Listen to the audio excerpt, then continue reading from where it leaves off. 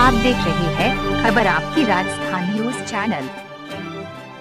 मध्य प्रदेश के गरोट, भानपुरा विधानसभा जनसंपर्क के आखिरी दिन प्रत्याशी जमकर क्षेत्र में दौरा कर रहे हैं। गरोट विधानसभा में निर्दलीय प्रत्याशी तूफ़ान सिंह सिसोदिया का भारी समर्थन मिल रहा। शनिवार का गरोट रविवार का भानपुरा में हज़ारों की तादाद में समर्थक जनसंपर्क रैली में शामिल हुए। तूफ़ान सिंह सिसोदिया ने कहा कि मैं गरीब जनता के साथ मध्यम वर्ग के लिए, सरकार से हक के लिए लड्डू का व आपके अधिकार के लिए कार्य करने का आश्वासन देते हुए अपने पक्ष में मतदान करने का आग्रह किया। खबर आपकी राजस्थान से श्रीपाल सिंह देवरा की स्पेशल रिपोर्ट मध्य प्रदेश के गरोट, भानपुरा विधानसभा जनसंपर्क के आखिरी दिन प्रत्याशी जमकर क्षेत्र में दौरा कर रहे हैं। गरोड